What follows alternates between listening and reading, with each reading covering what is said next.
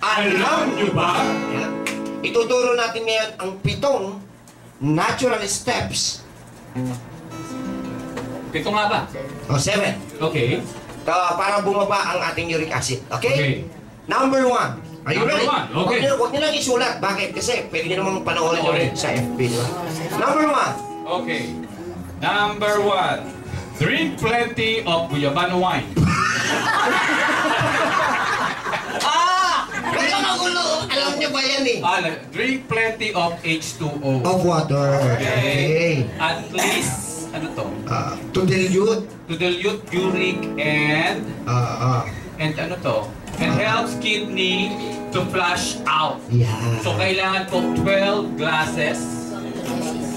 12? Correct. 12 glasses in a day.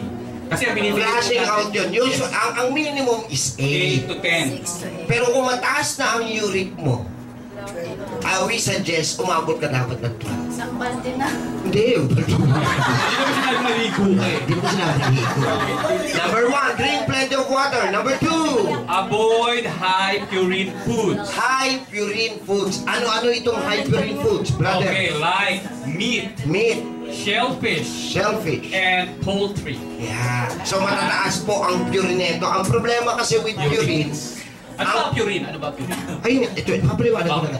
Ang purine po kasi na nandun sa meat, sa shellfish, at saka sa poultry, once digested or ingested inside our body, nahihirapan si liver at si kidney na i-linis, ah, what do you call this? I-digest, i-digest siya properly. So ang tendency, imbis na yung purine maging amino acid, nagiging uric acid. Kasi mataas nga po yung, yung purine content netong mga nabanggit. Number three, Number three, uh, stop alcohol. Yari kayo. Ay, iinom na lang. Okay, stop or lessen. Kung kung hindi kasi, meron naman talagang umiinom dyan, lessen uh, the intake of alcohol. Number four, Number four, take vitamin C. yan ang nakakalimutan ng marami. Na if you are really, really, uh, if you really wanted to be healthy, kailangan meron tayong input na vitamin C. And admit it or not, hindi natin makukuha basta-basta yan from the fruits and food that we are intaking. So I suggest, kung wala ka namang sakit, one na natural vitamin, 1 to 2 capsules of natural vitamin C. Pero kung meron ka ng sakit, may dosage po kaming binibigay. Kasi the only vitamin that can never be reproduced by our own body is the vitamin C. Alright? Next. Maintain healthy weight. Number five, kailangan din po kung ayaw mong maipon ng uric acid at hindi mahirapan ang liver at kidney mo, alam mo ang BMI mo. Ano yung BMI? Body Mass Index. So, may tamang height at tamang laki. Huwag kang magiging overweight. Kasi pag overweight ka, pinahihirapan mo hindi lang dalawang organ, kundi lahat ng organ sa loob ng katawan niya. Pati yung mga joints. Lahat. Di ba, mabigat Yes. kasi. Alright? So, maintain healthy weight. Number six. Avoid sugar. Yan. So, kaya maririnig nyo, ang sugar ho kasi ay nakaka-apekto rin po sa uric.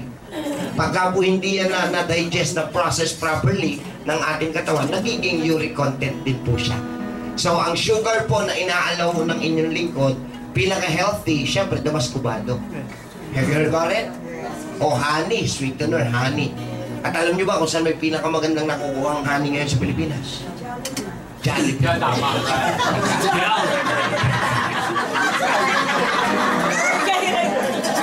Ang laki ng bubuyog. Follower ko siya. Galing mo. Okay.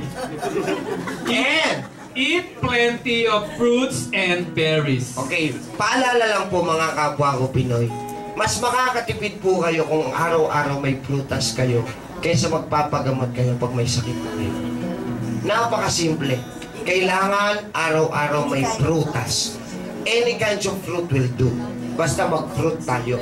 And the best way to eat your fruit is 30 minutes before any meal.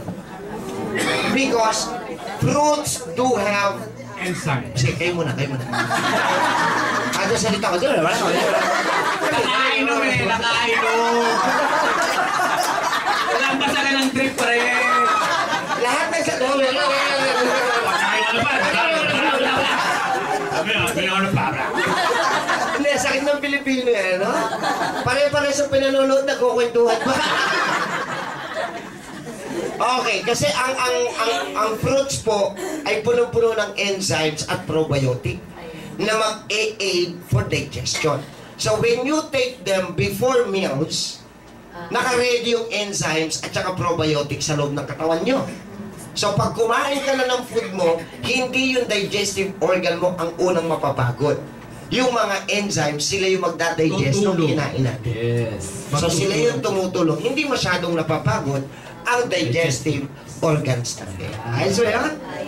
So yan po yung pitong pitong tips na pwede niyong gawin. Natural, walang libre, walang bayad. Tama ba?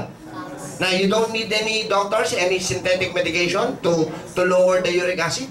Just plain and simple, natural tips. Ang kailangan lang gagawin. At meron pa akong isang additional tip sa inyo. Tulungan mo nga sila pare. Ano yung sampung pagkain na makakatulong para kumaba ang ating uric acid? Go! Okay. Number one, onion juice.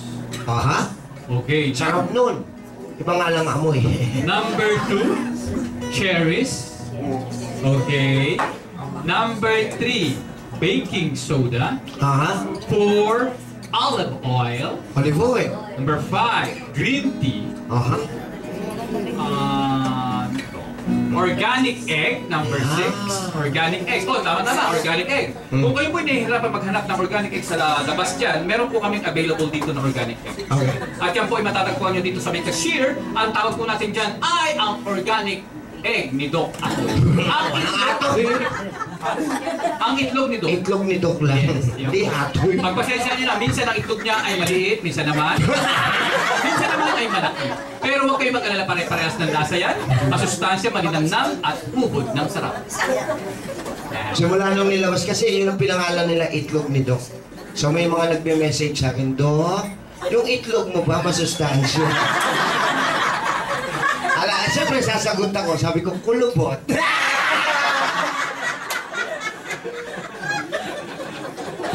Sir, tanong mo. oh, Sir, alam mo, anong masarap tatanong, sa kulubot itlog? ba itlog mo? Pula? Pula. Hindi sir, ang masarap sa itlog, kinakamot. Pag tayo na MTRCB. Nakikita niyo ho kung sino nagsasalita. ha? Iba yung kutis ng itlog.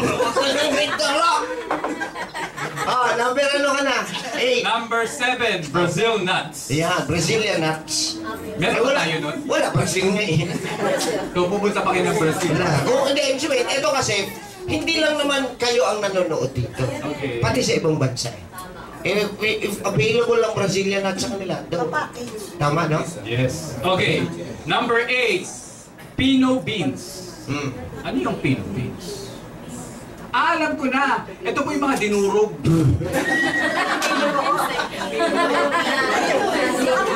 Pinto! Ha? Pinto beans. Ah, pinto beans. Okay. Wala na yan, oo. Wala naman talaga alam. Alam niyo yung pinto beans? Oo.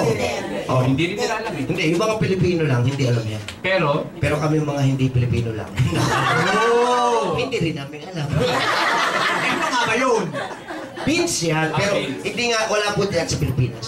Ah, okay. Hirap naman ito mga... Hindi kasi nga, ulitin natin. Okay. Ginawa natin ito hindi lang para sa atin. Lahat, pangkalahatan in general. Kung ano lang meron, Yeah, kung ano yung meron. Sabi nga, 10 foods na makakatulong to lower. Kung wala Hindi naman, sinabing lahat yung kainin mo. kung wala naman, eh, wala. Oo. Wala kang kahanap. Wala pa Okay, number nine, Nine. ay yung flaxseed, Oh, flaxseed. Siguro alam niyo na yan. Ah, and number 10, barley. barley. Yan. Kinggang bali bali bali bali wap nam kinggang kinggang kinggang bali bali bali bali wap nam kinggang du kinggang du Eh, la. Tinuloy. Okay. Okay. At meron din ako idadagdag, yung ah, paragis. Yeah. Siguro naririnig nyo na yan. No? Marami na pong gumawa ng ah, clinical sta... Ah, no, no, no, no.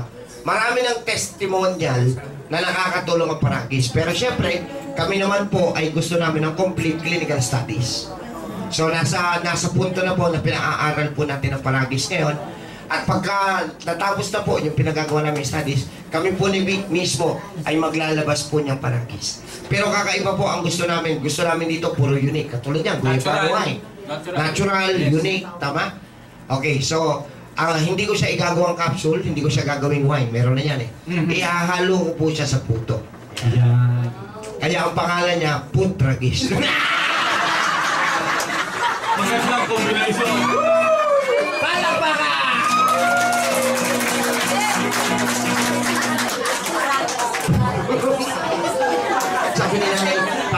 Yun? Mamaya ako Si mamaya. nanay loading eh. Saan ang ganglian sa puto? okay, so mga kaibigan, yan po yung ating tip for today. At nalaman niyo yan dito sa Alam Niyo Ba? May natutunan po ba sila?